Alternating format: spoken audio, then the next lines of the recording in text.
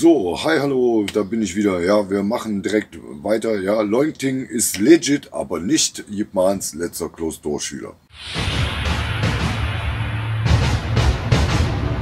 Wir beginnen mal da, wo Leungting sein Wing Chun Training angefangen hat, mit 13 Jahren, ja, 1960 in der Schule von Leung Scheung, der der erste Student von Yip Man überhaupt in Hongkong war, ne, seit der Zeit 1949-50. So Leung Ting hat sein Training da dann für die nächsten sechs, sieben Jahre durchgezogen, so dass die Leute auch gesagt haben, so, der macht sich langsam so, der ist ein bisschen komisch, das ist so ein bisschen Nerd, so, ne, aber langsam kommt da was.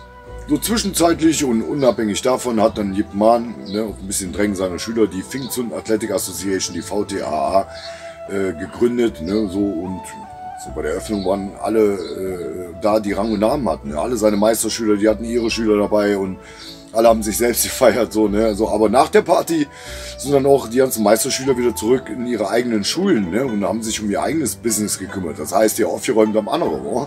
So, und der Trainingsbetrieb, den konnten ja auch nicht die Meister machen, sodass die dann im Verbund so ein paar fortgeschrittene Schüler von sich dann dahin geschickt haben, die dann da den Trainingsbetrieb aufrechterhalten haben. Ne? Das war auch so die Zeit, wo Yip Ching und Yip Chung wie die Prinzen da rumgelaufen sind, nicht mittrainiert haben, aber immer so, äh, wir wissen was, was ihr nicht wisst. Ja, ne? Unser Daddy sagt uns alles und euch nicht. Ja, so dann. Ne? So, und dann hat er im Laufe der Jahre auch Leung Scheung zu Leung Ting gesagt, so, guck mal Ting, geh mal dahin, so, ne, da ist der da, der da, der da, sprich dich mit denen ab, so, ne, und dann guckt, dass ihr den Unterricht irgendwie besetzt, ne. 1968 ist Leung Ting dann auf das Baptist College gegangen, ne? Studium, Uni-Zeit. Und da war der Nerd Leung Ting endlich unter seinesgleichen. Er hat sich ein paar Studenten zusammengesucht, so hat er mit dem Wing Chun Training äh, angefangen, er ne? hat dann auch später eine, eine Mädchenklasse äh, gemacht. Ne? So ist dann auf der Uni äh, mit, mit, mit Studienplanungen, mit Lernstrukturen und äh, Sportwissenschaften so in Kontakt gekommen.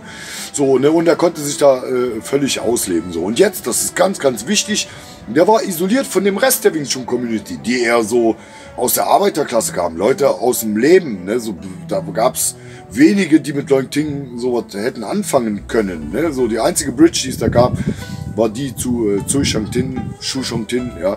So der, der eigentlich erste Bücherwurm in der Hongkonger Wing Chun Geschichte war.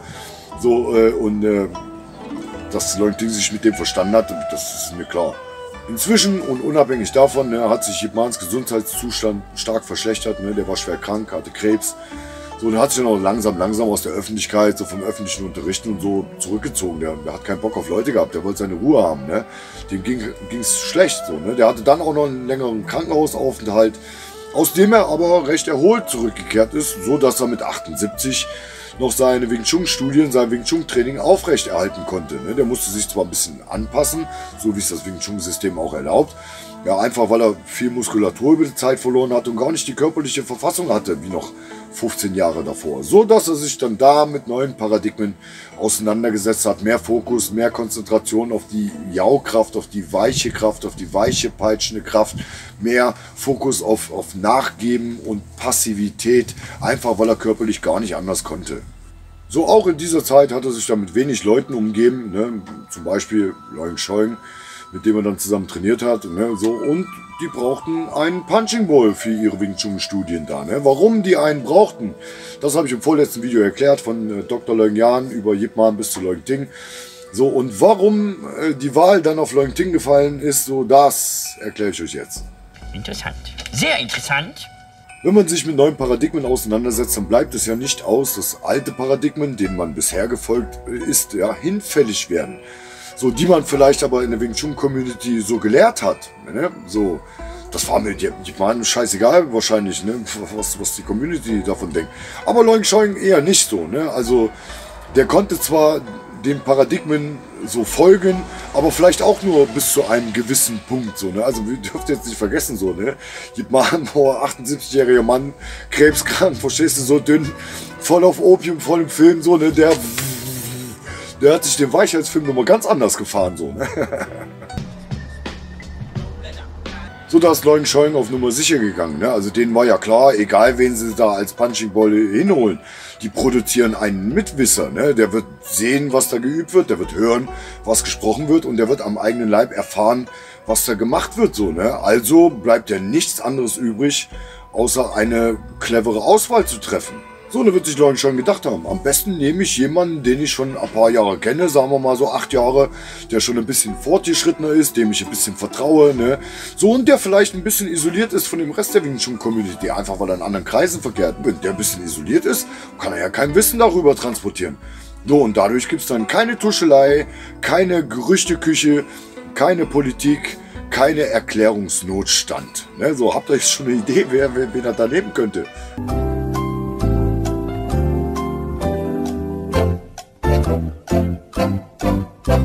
Ja, richtig. War Leung Ting. Ne? Der war isoliert. Ne? Also selbst wenn der Wissen weitergegeben hätte, an wen denn? An, an die Studenten-Nerds, an die Mädchen von der Uni. Ja, also die Wahrscheinlichkeit war sehr gering, dass die irgendeinem etablierten Meister äh, äh so über den Weg laufen. Und selbst wenn, was hätten denn so etablierte Babos wie Wong Chun Leung irgendwelchen Nerds oder äh, äh, Mädchen zugehört, wenn die irgendwas von der Weichheit, von der Passivität, von der Jaukraft von Wing Chun gesprochen hätten? Da hätte der gefragt, wo trainiert ihr? Na, bei Leung Ting. Bei Leung Ting? Wer ist das denn? Ja, der macht Training an der Uni. Wie viel Rooftop-Fights hat denn der gemacht? Rooftop-Fights? Siehst du, alles klar, ihr seid hier, ich hab zu tun hier, ne? Also, das hätte ja gar keiner ernst genommen. Und somit war das Wissen eigentlich relativ sicher. So, aber nicht aus Geheimhaltungsgründen, ne? Leung Scheung hat einfach dafür gesorgt, dass egal was da passiert, das hat nicht weitergetratscht wird, so, ne? Also, der hat dafür gesorgt, dass die Mann auf seine letzten Trainingstage noch Spaß hat hier und sich seinen Opiumfilm fahren kann. Craig! Hold up. I can hear my heartbeat. Ne, das hat Leung Ting aber alles für bare Münze und brutal ernst genommen hat, ja, so das Potenzial darin erkannt hat und das mitgenommen hat und im Endeffekt mehr daraus gemacht hat, so, ne, dazu kommen wir jetzt. Nein, doch. So, das haben die auch eine ganze Weile so gemacht, ein halbes, dreiviertel Jahr, ne, bis der Gesundheitszustand von Yip Man einfach gar kein Training mehr zugelassen hat. Ne. Dann ist so Ting raus, hat sich um seine eigenen äh, Trainingsaktivitäten gekümmert, 1969 hier oben auf dem Dach hier mit, mit den Nerds hier mit den Brillen auf und so, ne. So, und äh, war sich aber vollkommen des Potenzials bewusst von den Paradigmen, von den Inhalten, die er da aus der Zeit von Dietmann äh, mitgenommen hat. Also der wusste, dass das kann die ganze Sache hier revolutionieren. Ne? So, das hat er dann äh, den Strukturen unterworfen, die er von der Uni kannte, ne? Studienplanung, Lern- und Lehrstrukturen, Sportwissenschaften und hat dann ein Programm zusammengestellt, was eigentlich sicherstellen sollte, dass jeder von seinen Schülern auch wirklich alles lernt. Ne?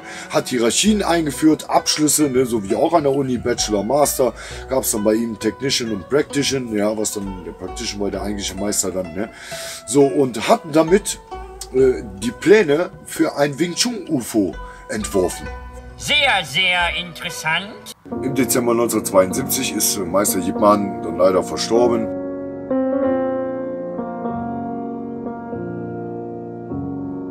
Dann hat Dong Ting 1973 äh, seinen Verband gegründet, hat dann 75 sich das I für International davor gesetzt, wahrscheinlich damit es auf der Visitenkarte besser aussieht, so, ne?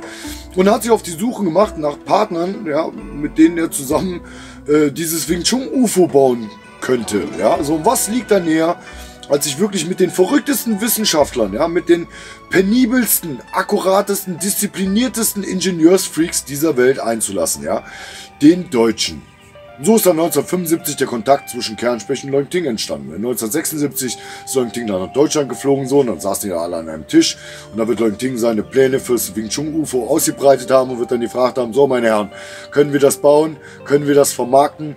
Und bei solchen Verhandlungen, da, da kann Leung Ting denen nicht kommen mit so, ich war der Punching Boy von Jip Mans letzte Lebensphase und die innovative Technology und die ganzen Paradigmen, die ich mitgebracht habe, sind das Ergebnis von Jip Mans Opiumrausch so, ne? Also da musste der dann einfach die Wahrheit ein bisschen verbiegen, um die Leute zu überzeugen. Und hat dann gesagt, ne, ich war der letzte Closed-Door-Student, so, das ganze Ding heißt Altersstil, so, ne? So, die Deutschen haben das geschluckt, ne? Und dann fiel das Weiterlügen dem neuen Ding ja nicht schwer, weil es ja schon mal funktioniert hat, so, ne?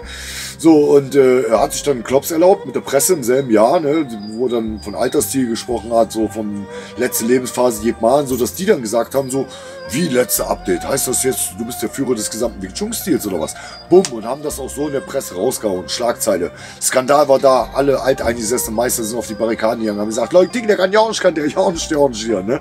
So, da hat äh, Leung Ting dann Dementi rausgehauen, so, und der Baba Wong Leung hat das Schlusswort gesprochen und hat gesagt, es gibt keinen Führer für den gesamten Wing Chun-Stil. So Leung Ting war das im Endeffekt sowieso alles scheißegal, weil er den Deal mit den Deutschen im Sack hatte. So ist es also aufgeklärt, dass Leung Ting nicht der letzte Closed-Door-Schüler von Yip Man war und dass diese ganzen Flunkereien ne, und äh, Schönheitskorrekturen im Lebenslauf leider notwendig waren, weil sonst dem Clint Ting ja keiner zugehört hätte. Ne? Den hat ja ernst genommen der wäre einer von vielen geblieben und wahrscheinlich in der Masse untergegangen. Ne? Warum ist der jetzt trotz der ganzen Lügerei legit? Ganz einfach, weil er alles richtig gemacht hat, schon bei der Wahl seines Lehrers Leung Chun, ne? auf den ja die ersten offiziellen Ansätze der Darstellung des Wing Chun als System zurückgehen. Daran hat Leung Ting dann angeknüpft, hatte dann auch noch seine Zeit äh, mit Leung Chun bei Yip Man, ja, so, zwar als Punching Ball und nicht als Schüler, aber dazu ist Folgendes zu sagen. Ja, wenn du als fortgeschrittener Physiker ein halbes, dreiviertel Jahr mit Nikola Tesla und Albert Einstein rumhängst, dann ist es ja nicht so, dass du nichts lernst, weil die dich nicht unterrichten, sondern du hast Gelegenheit zu sehen, und äh, zu erkennen und äh, deine Schlüsse daraus zu ziehen. Ne? So, das ist bei Freimaurerlogen ähnlich. Ja, die unterrichten nicht ihre Leute, sondern äh, geben denen Gelegenheit zu sehen und zu erkennen. Ne? Wer dann nicht sehen und nicht erkennen kann, der hat einfach nicht äh, das intellektuelle Potenzial und ist dann fehl am Platz. Leung Ting hat gesehen, hat erkannt, hat die Schlussfolgert, ne? hat äh, all seine Erfahrungen aus den bis dahin letzten zwölf Jahren genommen, hat die geordnet, hat die äh, systematisch zusammengesetzt, hat die einer Lehrstruktur unterworfen. Ne? So und die zukünftigen Erfolge mit den Deutschen haben ihm recht gegeben. Und damit kommen wir dann zu Kernspecht und der EWTO, aber dazu mehr im nächsten Video.